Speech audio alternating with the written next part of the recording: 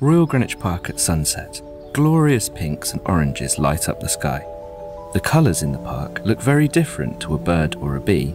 Bees can't see the colour red, but they can see ultraviolet light. As it gets darker, brighter stars reveal their colour, but faint objects like nebulae and galaxies look black and white to us. We don't see colour in very low light.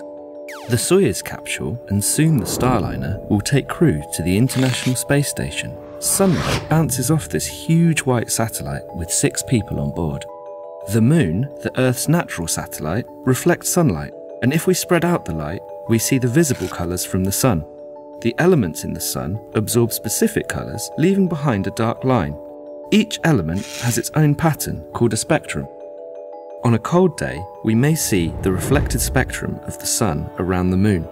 Small ice crystals in the upper atmosphere disperse light, giving the Moon a rainbow halo. On a dark night, you may see the yellow-orange glow of Saturn from ammonia crystals in its upper atmosphere. The Space Launch System will launch crew and cargo into deep space, and astronauts travelling to Mars would see the rusty red surface due to a mineral called iron oxide in the dust and rock. Through our great equatorial telescope, you could see the farthest planets, Uranus and Neptune. Both appear blue because methane in their atmosphere absorbs the sun's red light, leaving the blue light to pass through our telescope. But scientists think there's an unknown molecule on Neptune which contributes to its deeper blue colour. Beyond our solar system are many stars. On a clear, dark night, we can see a pale pink patch called the Orion Nebula. Thousands of baby stars are embedded in this vast region of gas and dust. The fairy tale colours in this cosmic nursery come from different gases that are tens of thousands of degrees hot. Sometimes cameras enhance the colours we see.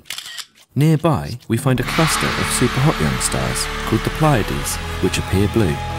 The supergiant star, Betelgeuse, is 3,000 degrees cooler than the Sun, thus it appears orange-red. Betelgeuse is a dying star and will soon undergo an incredibly powerful supernova explosion, leaving behind a small compact star surrounded by colourful debris like the Crab Nebula. To bees and most birds with their UV sight, the Crab Nebula would look different. Astronomers use telescopes that detect colours beyond what we can see. The universe is filled with microwave light from the Big Bang. We can't see this light with our eyes, so we use a special space telescope to detect it, and then we use false colours to map it. A network of satellites collects information from space telescopes and beams signals back to Earth, like NASA's tracking and data relay satellites built by Boeing. Billions of years ago, when the universe was much smaller, this Big Bang energy would have been in the visible range, and for a short time, the universe would have been filled with colour. It's a shame we weren't around to see it.